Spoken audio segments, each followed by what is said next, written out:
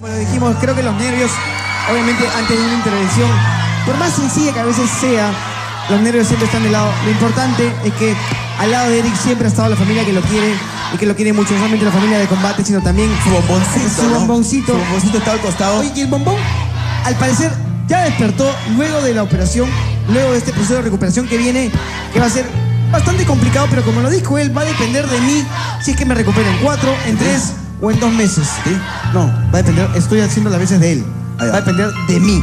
En unos cuantos minutos vamos a verlo a Eric, tenemos imágenes de él, él todavía no nos puede responder. lo- así, está en vi- esto es ahorita en vivo. Nos está escuchando. Hasta, ahorita nos está escuchando. Lamentablemente no puede hablar porque después de la operación obviamente está un poquito adormecido también. Pero sabemos que Eric está bien, como dice él, ¿no? Por la carita, me imagino que está contento de, de- luego de la operación. O sea, hasta cierta manera, un- de está manera está bastante contento porque ha sido un, un resultado positivo luego de todo esto. Este, mi querido Eric, sabemos que nos estás escuchando, el apoyo acá ha estado desde el día de ayer, desde antes de ayer que te lesionaste, ayer en la clínica, hoy en la operación, ayer en la operación y hoy todo el Perú está contigo. Eric, simplemente desde acá, de parte de toda la familia de combate, decirte que se te extraña mucho, a pesar de haber sido muy pocos días lo que estuviste con nosotros, se te extraña mucho, creo que tenías una vibra y tienes una vibra muy positiva y creo que eso es lo que te va a ayudar a ti, a como lo dijiste el día de ayer, recuperarte mucho más rápido de lo que cualquier doctor podría decir, porque está en uno mismo, obviamente, que te puedas recuperar. Y tus compañeros del equipo rojo quieren hacer extensivo este saludo. A ver, vengan chicos, vengan, vengan, si quieren venga, decir chicos, algo. yo, yo me acerco. Karen, algo que decirle a, a- a Eric. Yo le dije ayer que Dios algunas veces nos pone en circunstancias difíciles porque tenemos que prepararnos para las cosas maravillosas que nos va a dar.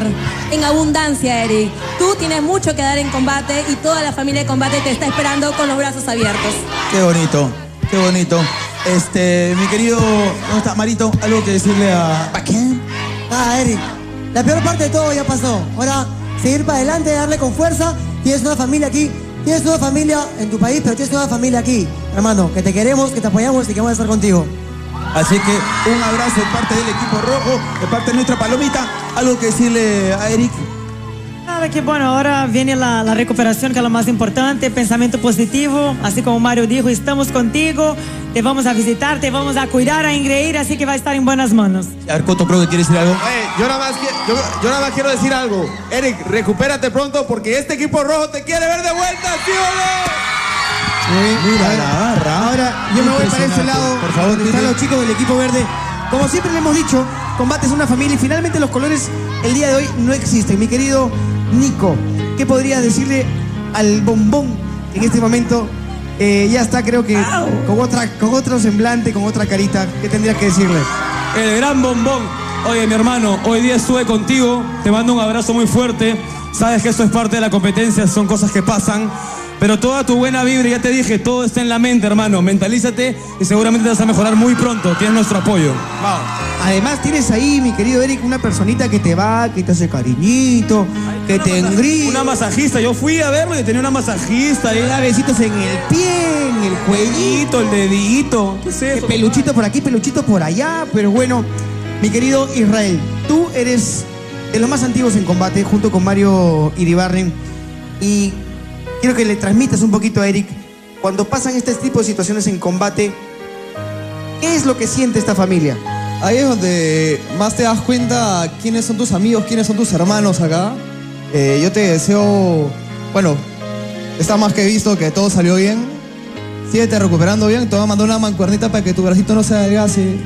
Y bueno, no mentira. Un abrazo, hermano. Te estamos esperando acá. Fuerza. Y ya sabes, tienes a tu equipo rojo y tus hermanos de verdad también te apoyan. Bonitas palabras. Que ahí, como lo dijimos, se demuestra perfectamente. Mi querido Eric, te dejamos para que sigas descansando. Vamos a ver si después podemos conversar. Ahorita estamos sin audio para ti, pero después vas a poder decirnos todo lo que piensas. Quédate igualito viendo el programa porque me imagino que estás pegadazo. Ahí está. El combate es... Yeah.